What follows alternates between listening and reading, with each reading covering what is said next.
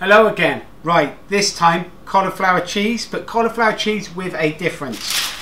Got a bit here, baking parchment, all right, and the cauliflower. So this is just the whole cauliflower. Just take the leaves off. I'm going to use them for something else later. Cauliflower goes into the baking parchment, and on top of that, I'm to give it a little dust of some turmeric. Turmeric and cauliflower go lovely, beautiful, lovely, lovely flavours. Bit of curry powder, pinch of salt, bit of cracked black pepper, knob of butter, and then just gonna wrap it up. It's not got to be neat in any way. I'm just trying to do it so it seals it, and then just gonna put a couple of sheets of tin foil just to make sure that it's doubly held together. Onto a tray into the oven. That is set. 190 degrees I'm going to cook it in the oven for around about an hour 45 minutes something like that.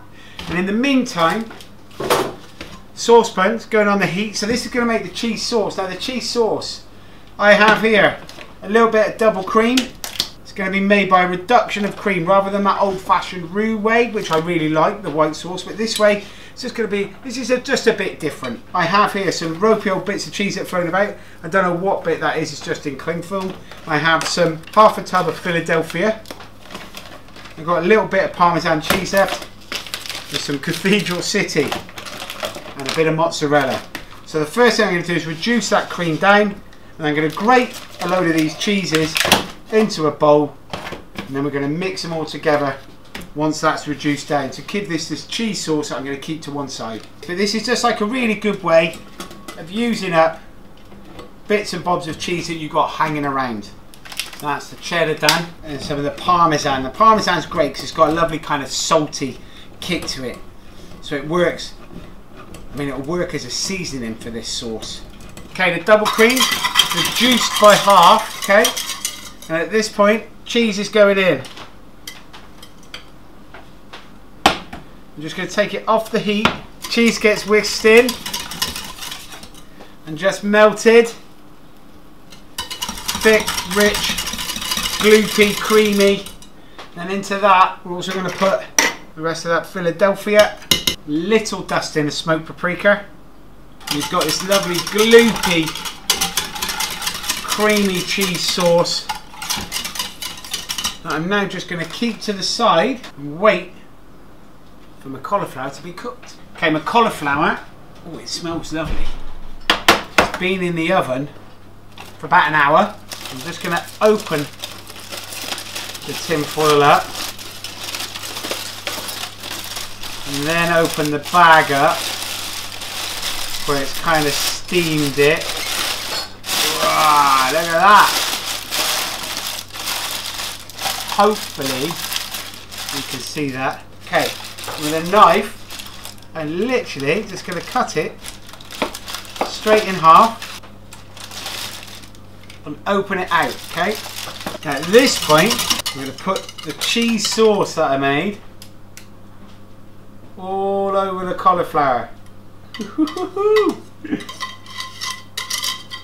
and here I've got mozzarella. I'm just going to break up mozzarella, stick it on the top and I'm going to put it back in the oven let that mozzarella cook and melt and go all gooey. I tell you what, I'm going to put a little bit extra smoked paprika. I've got some onion stuff here. I've got pickled onions, I've got some onion jam, and I've got some crispy onions. And I'm going to use them to finish afterwards. But here, I've got a little bit of green chilli. I'm just going to thinly slice it. I'm going to put the green chilli as well onto the mozzarella. This is the first time I've ever done this, but I know now, I can tell you now, this will not be the last. This looks amazing. I'm going to stick that back in the oven, nice and hot, and bake it for around about 15 minutes. I'll keep checking it. Right then. It smells amazing. And look at that! Of all these videos that we've done, this so far is most definitely my favourite. Oh, cauliflower cheese. Dripping in cheesy goodness.